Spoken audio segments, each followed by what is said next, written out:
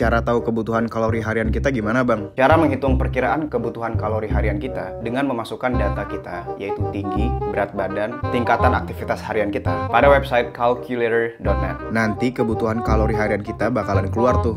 Mau kita pengen mempertahankan berat, ataupun mau turunin berat badan. Ingat ya teman-teman, ini hanya perkiraan. Masing-masing individu punya angka yang berbeda. Jadi ini bukan angka yang pasti. Untuk info lebih lengkapnya, lo bisa cek video terbaru gua di channel YouTube gua, PWFit.